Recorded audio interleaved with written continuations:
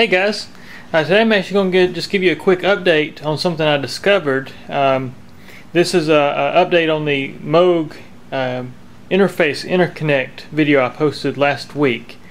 And uh, one of my friends sent me the uh, owner's manual to the Moog source. And if you recall, on my last video I was talking about how the Moog source did not have the uh, scale knob, which makes the open interface not really work that well. Well, in the manual, it clearly says in the owner's manual, not the service manual, not the there's no you know schematics of any sorts to fix this issue, but in the owner's manual, it calls out that you can add a 10k linear uh, pot between your CV output and your CV input, and that fixes your your uh, scaling. That that allows you to to set your scaling. Well, I had a uh, 10k linear pot laying around so as you can see, I've just kind of wired it up. Now, keep in mind, there is no S-Trig coming from my beat up Moog source. I've actually got his other uh, Mac. I've got your source boxed up now. Um, I'm using mine. But what I've done here is I'm, I'm just going to put this thing in bypass mode and I'm going to play it so you can kind of hear it. Now keep in mind mine's not fully calibrated or anything because this is really just a piece of junk I pulled out of my parts pile and I've got it working. So it's it, some of the interface buttons don't work. So just keep that in mind. Tracking's not exactly correct on this one. Uh, but as you can hear it, it does actually track fairly well. And there's some, you know, little noise from these cables because as you can see I'm just using gator clip, so it is not exactly accurate. But as you can hear,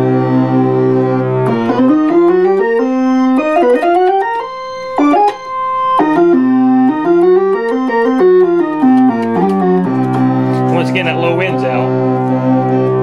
So I get this to sustain.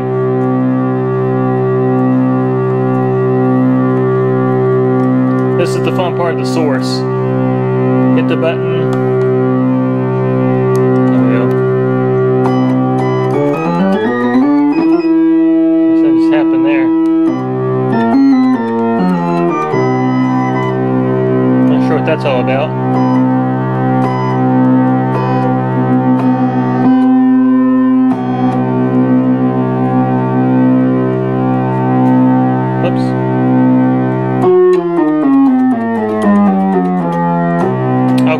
Forget it.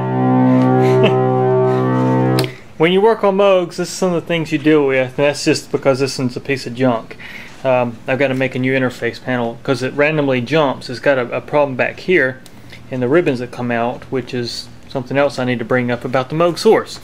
Uh, this one here is, as you can see, I call it the dog. I actually named it because it's been sitting around my house for about four years, and it's just a piece of junk. Uh, literally it's just a parts unit I, I pulled up and I, I semi got it to work. But uh, anyways guys I was, was going to show you that but it keeps changing presets on me. So anytime I change anything over here it changes but sometimes it'll, it'll inadvertently jump back to another preset. We'll try this again though. Maybe this will work. Let me just cut off oscillator too because it's out of tune. Get that filter opened up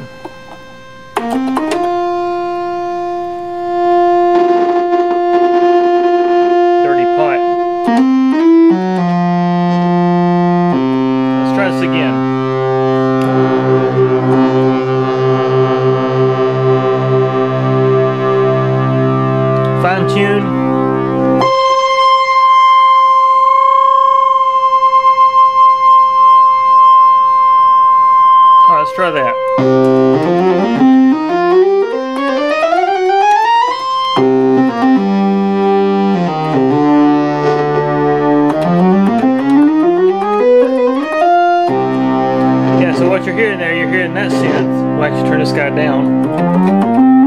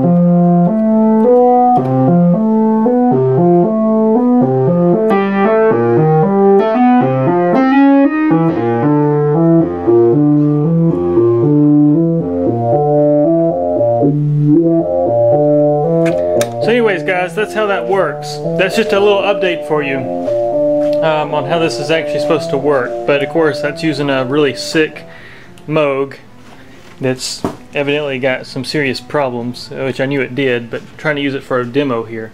But so yeah, anyways guys, back to the whole thing here is if you're using a Moog source with a, another uh, older Moog, and because the Moog source does not have any scaling or ranging uh, calibration adjustments externally, like the Memorymoog, all these other synths, this is a way you can do it.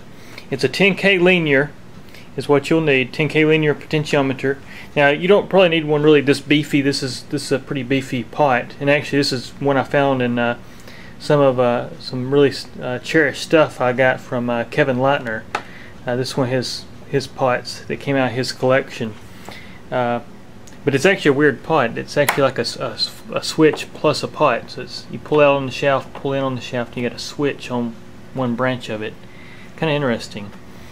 Uh, but anyways, guys, enough talking here. But that's how you do it. That's how you can interface a Moog source as a, as a master and slave the Micromoog.